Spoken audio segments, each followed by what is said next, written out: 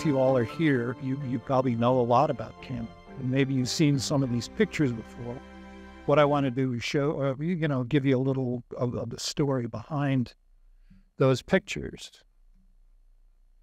This is what Camp looks like from um, a satellite. It's uh, it's about half an hour's flight from the south lawn of the White House to the helipad. Lower left is the helipad there, and uh, this is the president's residence up there. Everything is very rustic. At least it was about that. Um, that's Aspen Lodge. There's a swimming pool. There's three short holes for golf there. I, I never saw anybody use it. I think that was really in there for Ike. And this is the map of the uh, of the place. This circle here is about a mile. I'm not sure. I think this was when they arrived at Camp David. Oh, and this was the first time they met uh, going in for their trilateral, well, bilateral, trilateral meetings. This was uh, in Carter's little den there, and I was shooting that with a super wide lens. Um, and my back was against the wall. You can get an idea of how small the place was. And I had been having issues with the president and access. He didn't want to give us access. Um, I'd shoot a picture and he'd give me the look. And that was my my my cue to leave. And after a while, I just after the first picture, I would head for the door. And one time he said to me, um, well, I, I, had said to him, I said, Mr. President, your library is going to be filled with um, handshake pictures. And true to form, he just looked at me and turned and went back to his desk. And either that afternoon or maybe the next day, I was in there and he said, Billy, maybe you were right. That was it. So I started pushing and pushing and pushing, and thank God I did, or else you wouldn't have these pictures. Um, we shot a lot of pictures, and the second or third day, the prime minister walked up to me, and his face was right here, looking up at me. And he said, What are you doing with all these pictures? I said, uh, Would you like some? My lab guys, I could hear them groaning. So every day I did 12 8 by 10s on 11 by 14 sheets of paper, put them in a little, you know, folio, and gave them to both he and President Sadat. And um, he always said to me, "You made me look very good." This is in the main main Aspen Lodge with uh, President Sadat. It was was kind of difficult. Uh, the light out there was very mottled, um, so it made for a hard to shoot pictures. Um, this was on the front porch of uh, the uh, uh, the cabin where he stayed with his staff. I believe this was the first day when everybody was getting checked in. Uh, the, uh, these are all of the Egyptians there. The guy on the far left with his arms crossed, that's John Simpson. He was head of the president's detail. Camp David is run like a uh, Navy ship. It's a it's a commander, sometimes a lieutenant Navy commander, who is the commanding officer.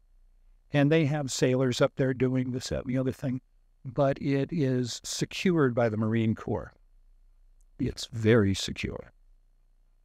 This is um, Zbigniew Brzezinski.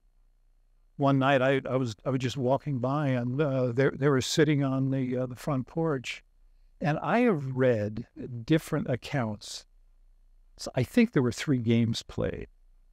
And I've heard he won two, he won one, he won two, he won, and so nobody knows really for sure, but they had a good time.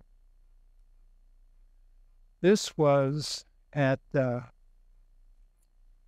at uh, Gettysburg on the right here, Ezer Weizman and the uh, President Sadat. Sam Lewis, who was the ambassador to Israel then, and who later became president of the U.S. Institute of Peace. And everybody behind him is security. This uh, the guy up, uh, security agent up in the back, under the stone thing. It was his first day on the presidential detail. he told me later, he said, you know, if something went wrong, they're going to blame it all on me. But but nothing went wrong. It was uh, so they took him over there and showed him the battlefield, where in a couple of days they had fifty-one thousand casualties. A lot of loss of lives. Amy Carter in front here. Transfixed on a cannon, I guess. Moshe Dayan right here. Defense minister. Yeah, yeah. And this was uh, since they uh, since Begin and Sadat weren't talking face to face. They would meet with the Americans, and the Americans would meet with the um, uh, Egyptians. And in the picture here, we have Cyrus Vance, Secretary of State. This is uh, Zbigniew Brzezinski, and this is Walter Mondale's the the back of his head here. And again, this is a really small room. Little shuttle diplomacy, a lot, a lot of golf carts. Um, both uh, Begin and Sadat had heart problems, and they were uh, a morning walk was prescribed each day. So they wanted to keep these two away from each other. So the way they did it, um, let's see. Yeah. Begin was in this uh, cabin here, and Sadat was in this one. So the security agent would go up to uh, Begin's door and say, We're ready for you, sir. And he'd come out and he'd start walking around. When they got about there, they would do the same thing with Sadat. So they were following about two or 300 yards behind each other. And if they got too close, one of the agents in the trailing party would say, Oh my God, look at that. I thought that bird was extinct. So everybody would be looking up at the trees at these birds. Then he'd get word, bring them up. And this is in the main living room there. I think uh, Brzezinski came with that one shirt. What? Last, lasted for three days. Yeah. Hamilton Jordan in the uh, foreground here. Who was, I think, at one time, I believe that Hamilton was one of the youngest chiefs of staff at the White House. Yeah. We did a little uh, bicycle uh, diplomacy when I would shoot this picture or a picture like this that we thought we might release. I'd jump on a bike and head up to our photo lab, which had been set up in the um, the Navy dispensary. He kept stealing my bike. So I, I don't know if you can read it, but it says White House Photo Team. And you see what I did with the seat on it? I ran that seat up as far as it would go.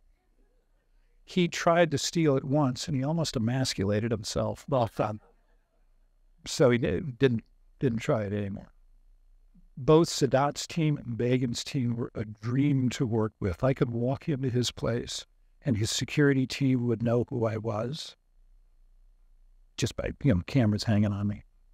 And they they'd just show me in and he'd be sitting on a couch or something or something like this, doing his homework, studying, whatever. And uh, and when I got what I needed, I left. But I was never ushered back out. They were great. Begin was the same way. Some days were good, some days are bad. Uh, and this was, I think, the night before the decision was made. And then immediately after that, Carter didn't even know that this meeting was taking place. This was taking place in Begin's uh, cabin. And I think he was giving Sadat uh, something carved from olive wood. I'm not quite sure it was. But it was at this meeting, I am almost sure that they they let it be known that the agreement was going to happen. Everybody, when they checked in, they got a little Camp David jacket. I got one that came to right about there. Uh, um, yeah, so um, so that was it. Um, did anybody see the play Camp David? It was a couple, couple, two or three years ago in the beginning of this play, and the play was terrific, by the way. If you ever have the chance, if they ever put it back on the road, go and see it. One of the first things in the play, Begin, Sadat, and Carter walk to the front of the stage and they're talking. And then they start to turn around. And from the back of the theater, you hear, How about a picture? It's me, but I didn't yell at them. Um, so they turned around and, and I shot, shot a picture. And uh, in the play, there's a scene where uh, Begin is sitting in a real dimly lit den and Carter came in with an envelope and he said, Oh, here, I signed those pictures for your grandkids, for David, Ariel.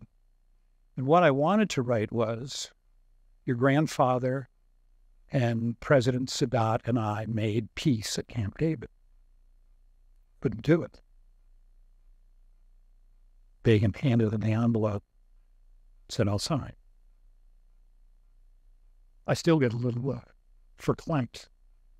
It was quite a moment. So, anyway, then we went back the next day in helicopters that were stuffed with people who weren't supposed to be on there.